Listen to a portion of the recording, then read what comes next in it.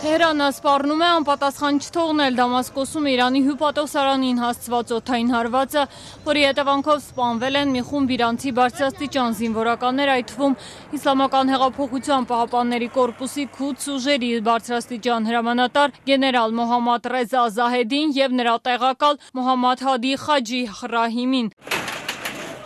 Իրանի իշխանությունները վաղկոտ հանցագործություն են որակում Իսրայելի օթուժի հարվածը, որն ըստ ամենայնի արձակվել է օկուպացված Գոլանի բարձունքներից, էլ ավելի բորբոքելով լարվածությունը տարածաշրջանում Գազայում Իսրայելի եւ Իրանի դաշնակից Համաս խմբավորման միջև 6 ամիս շարունակվող պատերազմի ֆոնին։ Իրանական եւ սիրիական պաշտոնական աղբյուրների համաձայն հարձակումը տեղի է ունեցել 3 երեկոյան։ خب به طور طبیعی یک مسئولیت بین المللی داره Սիրիայում Իրանի դեսպան Հոսեյն Ակբարիի խոսքով հարվածը հասցվել է F35 կործանիչներից, որոնք 6 հրթիռ են արձակել շենքի վրա։ Արձակումից հետո կանգուն է միայն հյուպատոսարանի շենքի դարպասը։ Իրանի դեսպանատան հյուպատոսական բաժին գրությամբ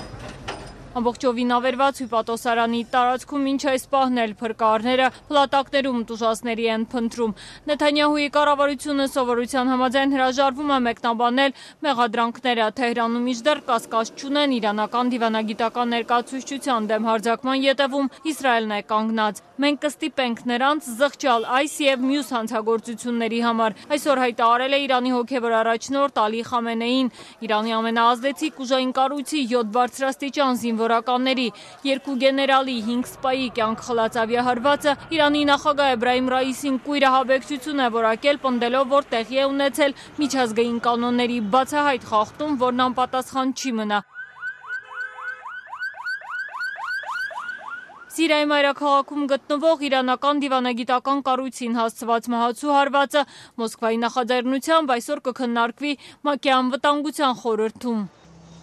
Մինչ այդ ՄԱԿ-ի գլխավոր քարտուղար Անտոնիո Գուտիերեշը դատապարտել է Իսրայելի հարվածը ընդգծելով դիվանագիտական եւ հյուպատոսական կառույցների անձեռմխելիության սկզբունքի հարգման անհրաժեշտությունը միջազգային իրավունքին համապատասխան։ Տեղի ունեցածը մտահոգել է նաեւ Եվրամիությանը պաշտոնական Բրյուսելը հորդորել է զսպվածություն դրսևորել ծայրաստիճան պայթյունավտանգ տարածաշրջանում հետագա էսկալացիա թույլ չտալու համար։ Սպիտակ տունը եւս հայտարարել է, որ տեղյակ է կատարվածի մասին։ Պետք Քարտուղարության խոսնակ Միթյու Միլլերն էլ ասել է, որ Վաշինգտոնի մտահոգում է այն ամենը, ինչը կարող է էսկալացիայի տանել կամ մեծացնել տարածաշրջանում հակամարտությունների սրման վտանգը։